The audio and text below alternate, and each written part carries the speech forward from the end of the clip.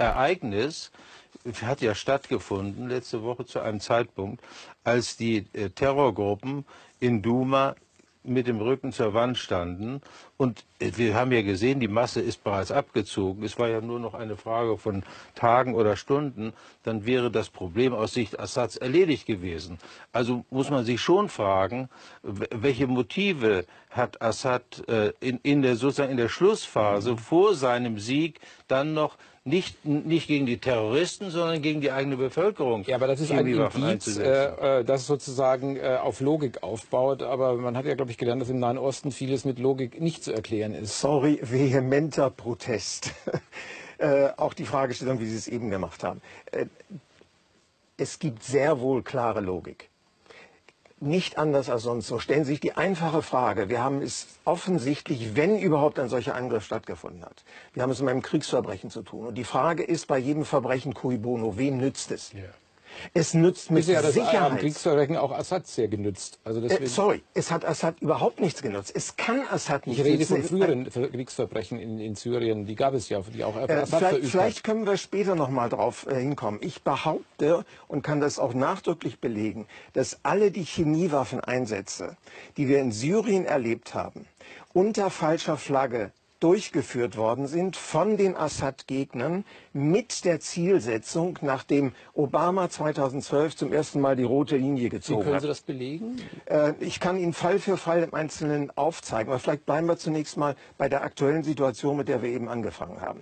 Äh, die, äh, das Gebiet von Ostruta ist weitgehend geräumt. Selbst in dem letzten Bereich um Duma, selbst dort sind die ersten ähm, äh, dschihadistischen Terroristen äh, bereits abgezogen. Ja. Das heißt, man steht unmittelbar vor dem Abschluss.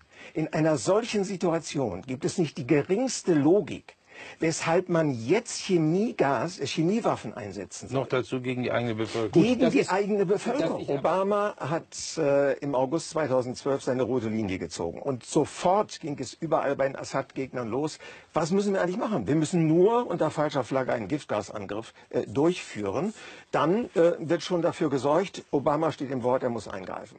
Der erste Angriff, Khan al-Assad, das war im März 2013. Ein Angriff, 26 Tote, davon waren 16 syrische Soldaten.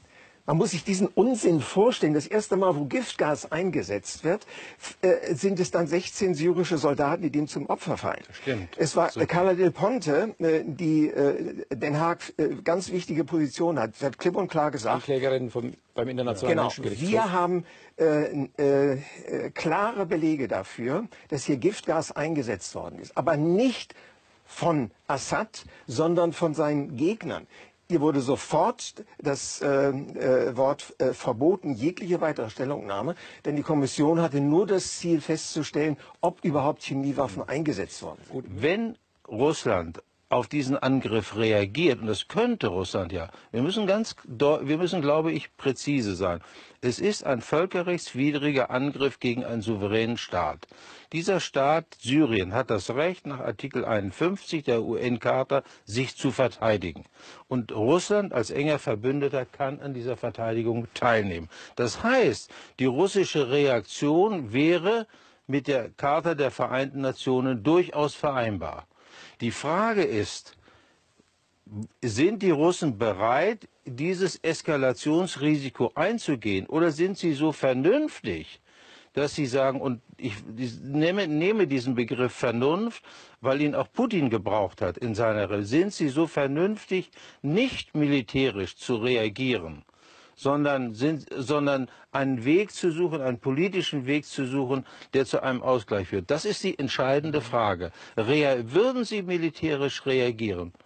Dann wir, sind wir natürlich in der Situation, dass hier zwei Großmächte, zwei nuklearstrategische Supermächte mit den entsprechenden, mit den entsprechenden Allianzen im Hintergrund, in diesem Fall die, die NATO, in einen Konflikt geraten. Das heißt, auch unsere eigene Sicherheit wäre davon betroffen.